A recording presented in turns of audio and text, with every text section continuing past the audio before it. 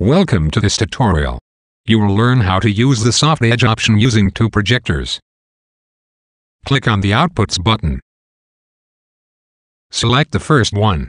Match the size, and show the test pattern. Enter the full screen mode by checking it. Add a second one by clicking on the plus button. Select Match and show the pattern. The first one is almost vertical. Modify the position.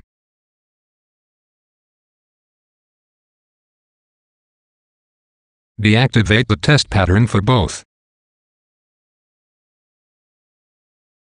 Add the calibration card color you may download on the MadMapper website.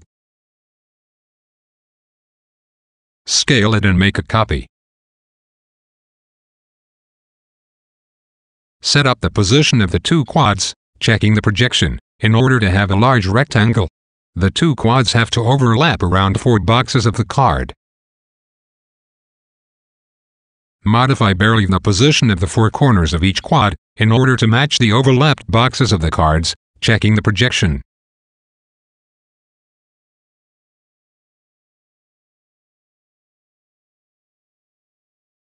Maximize the input view, to adjust the right side of the left quad. Do the same with the left side of the right quad, in order to overlap correctly in the middle. To adjust, if you need to, repeat the operation. When it is done, select the two quads, and check the soft edge box.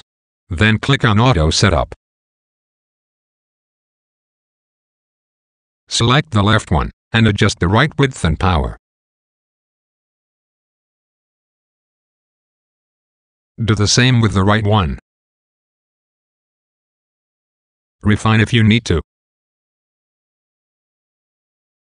Adjust the colors if you need to. In our case the left one.